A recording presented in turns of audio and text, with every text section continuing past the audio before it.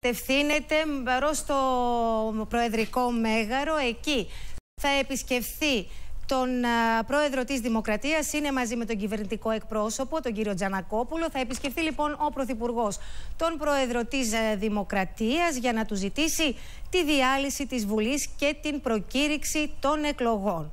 Αυτό σηματοδοτεί την επίσημη έναρξη, κυρίες και κύριοι, της προεκλογικής περίοδου.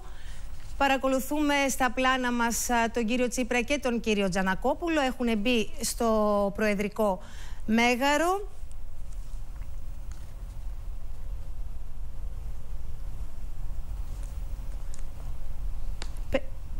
Περιμένουμε να δούμε και τη συνάντηση με τον πρόεδρο της Δημοκρατίας. Έχουμε τον Γιώργο Παντελάκη κοντά μας. Γιώργο και την προκήρυξη. λοιπόν, και μισή ο Πρωθυπουργός πέρασε την πύλη του Μεγάρου με ευθύμου και κατευθύνθηκε προς το Προεδρικό Μέγαρο, συνοδευόμενο από το. Και Γιώργο, να σε ενημερώσω, ο Πρωθυπουργός στο Προεδρικό Μέγαρο συναντάει και χαιρετά τον Πρόεδρο της Δημοκρατίας.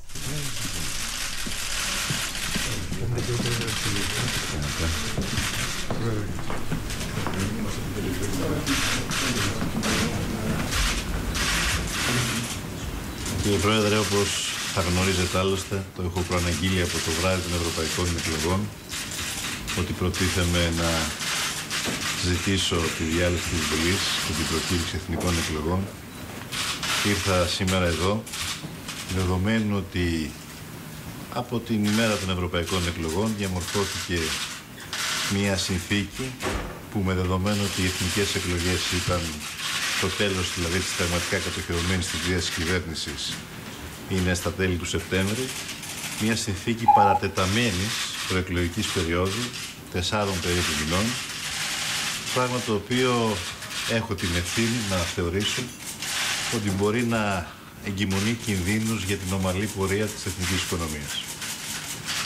Δεδομένου δε ότι έχουμε μπει σε έναν ενάρετο κύκλο, ο οποίος δεν πρέπει επουδενή να διαταραχθεί διότι αυτό θα σήμαινε πως οι θυσίες και οι κόποι του ελληνικού λαού θα διακινδύνουν.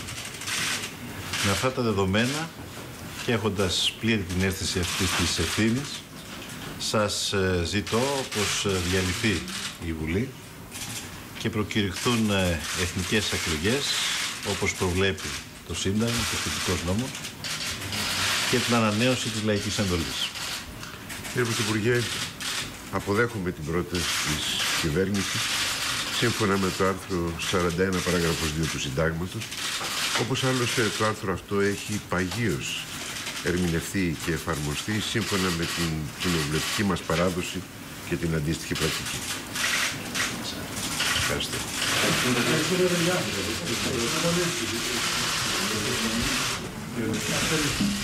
Λοιπόν, ακούσαμε